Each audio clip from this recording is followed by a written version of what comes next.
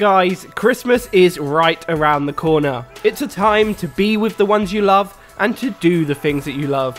So, this Christmas, I wanted to go back to some of the games that really helped kickstart my channel and take another look at the best Easter eggs found in each of those games.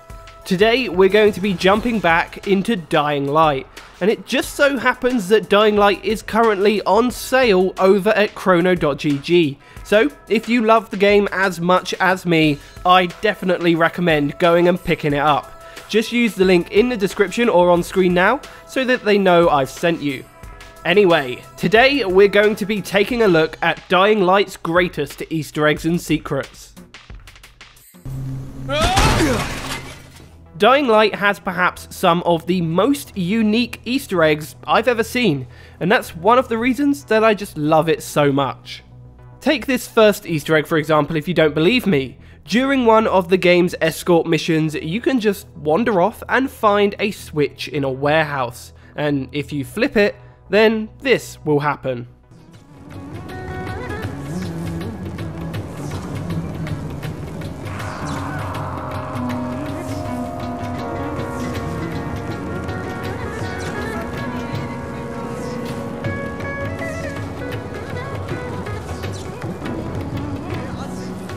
Now, I bet that's not what you were expecting from an open world zombie em up. But what if you're after something a little less, let's say, zombie-ish? Well, just head to this location in Old Town to find a pipe hidden in a chimney that may look pretty familiar to Nintendo fans. Oh yes, by interacting with this pipe, you'll be transported into a first-person recreation of World 1 from Super Mario, complete with Goombas, parkour, and even a little firework display to finish things off. But perhaps you're not a fan of Mario. Fair enough. Don't you worry because Dying Light's Easter eggs can scratch that itch for you too. How does Plants vs Zombies sound? Well, by finding a secret flower during the broadcast mission, you'll be magically transported to a recreation of the popular game. And don't think this is just a half-baked reference, this is a fully playable minigame featuring plants that actually attack the zombies, zombies in the classic Plants vs Zombies costumes, and even tiny little zombies.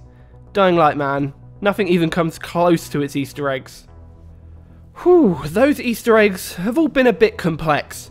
Sometimes it's nice to just take it easy and look at something simple. Well, once again, Dying Light has us covered. Perhaps you'll like this reference to the popular Valve game Left 4 Dead. Except it's bread. You get it? Well, if you like that pun, then you'll love the Bites Motel. Just like the Bates Motel from Psycho. Except it's for zombies, so they bite that does make sense, doesn't it? Dying Light's main game was by far the only place housing some really cool Easter eggs. The following DLC also has some Easter eggs, just as good as those in the main game. Do we have any Potterheads out there? Well, if so, you'll like this Easter egg. Out in the countryside, tucked away beneath the stairs in an abandoned house, will be a recreation of Harry Potter's bedroom. Now, I'm not just pulling this out of my ass either. As you can see, there is a wizard's hat on the bed, but perhaps more importantly are a pair of glasses on the bedside table, which are in fact the exact same style as Potter's very own specs. There are some pretty interesting items that you can find across Dying Light's open world. Things like nuclear launch codes, military activation keys, and uh, abandoned nuclear weapons. You may have noticed a theme here. That's because the following has a secret ending if you collect certain items. That basically means you can just skip out playing the DLC altogether.